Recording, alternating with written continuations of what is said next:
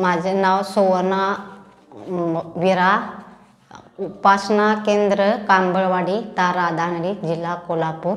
दोन वर्षे झाली आम्ही बापूंची उपासना करता. माझी लहान लहान असताना आमच्या नवरा पती वारलेत. आमच्या मुलांनी एवढे मोठे घर बांधले तीन मजली पोरासनी. मग माझी मुलं अशी टेम्परवारी कामाला आहेत. लग्न होईना म्हणून मला बाप मी दोन वर्ष झाली बापूंच्या उपासनाला सुरुवात केली.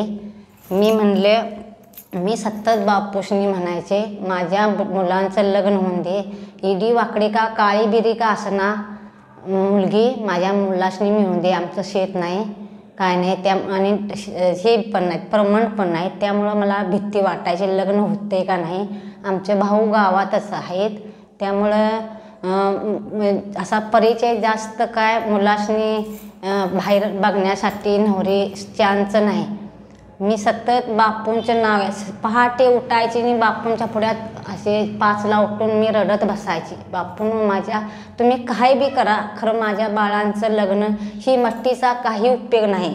ह्या मट्टीचा माझ्या बाळासने एवढं लग्न होऊन दे बाळाचं.